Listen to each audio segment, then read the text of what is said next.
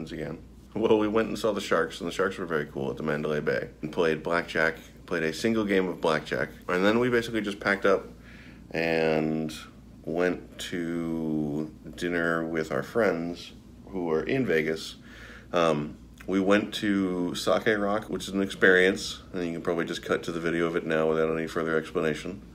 And then we went to Sweet Raku, which was a like kind of Japanese style dessert place that had these super crazy, fancy, adorable, and not in any way heavy uh, desserts. That was really good. And then we went to the Las Vegas sign, which was way smaller than you would expect. It's like just a normal sign, just hanging out on the road. We left at midnight Pacific. Got here at 6:30 ish uh, Eastern. So it was the flight wasn't too long, but we got no sleep. So then we got here and immediately just went to sleep. And everyone's like, "No, you should go get breakfast." And we were just like, mm, "No, we're not doing that." It is now 12:30. We're gonna get badges and breakfast, maybe.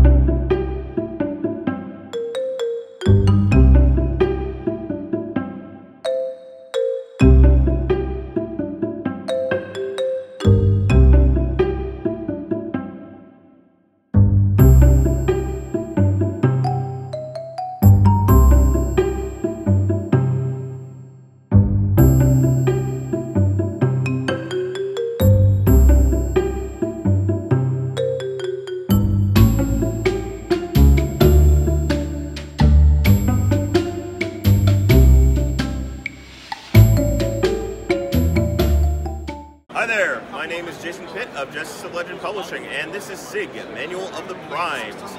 It is a game about family, about faith, and about bloodthirsty politics in a planar city in the middle of all things.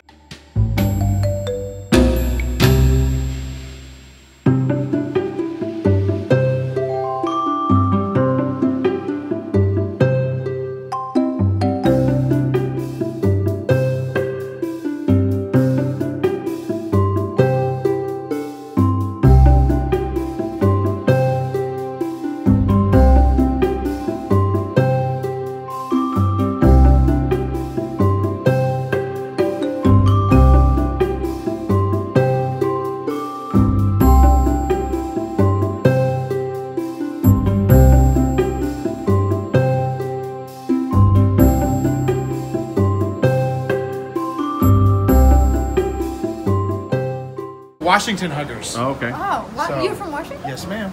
State? Yes, Where? ma'am. Spokane. Oh, very cool. Yeah, because we're in Seattle. I know. I like I said, I watched all of your videos to prepare to come here, and I was super stoked about it. You No, guys are I'm the reason I was prepared.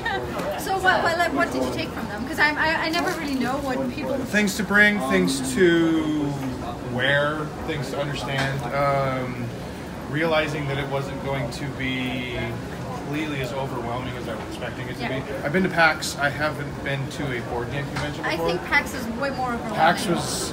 I had headaches by day one. because it's like loud and Correct. there's way more people. And this is laid back, and I mean, it's gamers. It's board gamers. Video gamers are, get out of my face, I'm playing a game. Board gamers are, hey, sit down, come play a game with me. Yeah. Um, I got the uh, boardroom and sat down, put the cone up, and made seven new friends that one night. That's and everybody's awesome. like, let's exchange our information, we'll hang out, because I'm here till Tuesday. This is your first con? First con. You were by yourself? Uh, my buddy Charlie's with me, but he's playing in a Catan tournament. But cool. So I'm just kind of wandering by myself, having a great time, but you guys are the reason that I was prepared. That's awesome. Are Yeah. you going to Gen Con? Uh, no. Just Origins? I, I'm a retired disabled vet. I have troubles traveling. yeah, yeah. Okay. So once a year's enough for much. me. Yeah, and this is a little more chill than Gen Con. Very much so. Did yeah, Gen Con is ouch. Oh, get him away. Oh, bumped Yeah, into you. yeah. Now I have the flu. Oh, yeah. but today is awesome. I ran into you guys. I'm super stoked. about oh, thank you for saying hi. Of course. Thank you. Thank you for getting me prepared. I really do appreciate Yeah, it.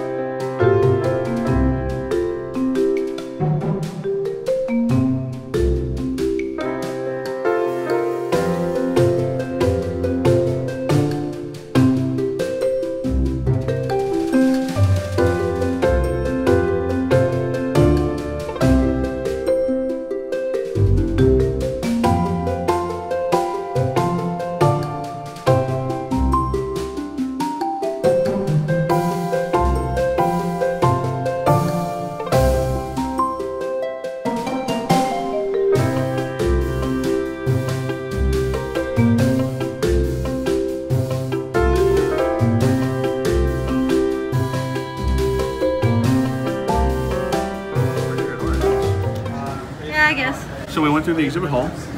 We saw a couple things. Level up dice, Easy Roller Dice, had some cool dice.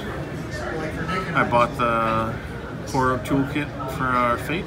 And I saw Ken Hite and talked to Derek was fangirling. uh, talked to Contessa folks and Loan Shark folks. Talked to a bunch of our friends and you know partners and stuff for Gen Con.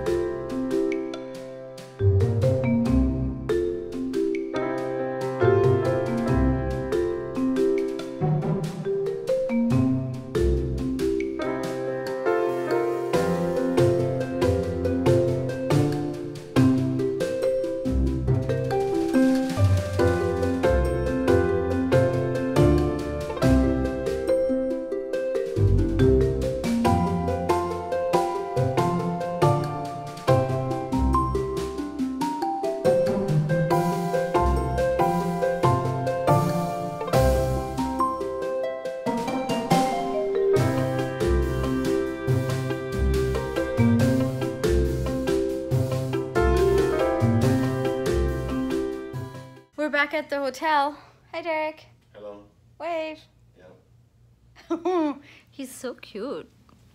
And it is 1 a.m. I'm done uh, editing last yesterday's vlog, so I'm a day behind. Maybe I will catch up tomorrow. I was hoping today would be an early night, but it is not. Today there have been some unfortunate reports at Origin of um of of like sexual harassment or shitty men's behavior towards women, which is really just straight up disappointing. Um, you know, women being followed and inappropriate things being said to women. If those things were said to me, it would make me feel incredibly unsafe um, and scared and um, isolated. So, you know, I just wanted to say that if anything like that happens to you at a convention, there are people here that will take action and that will make you feel safe and provide a place for you. Um, so, you know, if something like that happens, report it immediately to the show office. You know, get as many details, give them as many details about what happened as you can, and description and names and stuff like that. And um, I don't know if you know my Twitter handle um, is in my in the description bar of this video. So if I'm at a convention that you're at and you feel unsafe, like tweet at me, direct message me, something like that, and and I'll come find you. We can group up. We'll make this a safe space. Um, to people out there that are watching this that are not women and that are not affected by this, you know, try to watch out for this type of behavior. Call out men that are doing this kind of stuff. Um, provide safe places for women and don't be a dick. So that's all dramatic and sad and serious. So let's talk about tomorrow. Tomorrow we are going to watch the Pride Parade. It goes right past the hotel, and Marion has a view of the street, so we're gonna hang out and have food and uh, watch the parade go by, and I think that's gonna be really fun. And no other further plans yet for tomorrow. Derek has some meetings. Mm-hmm.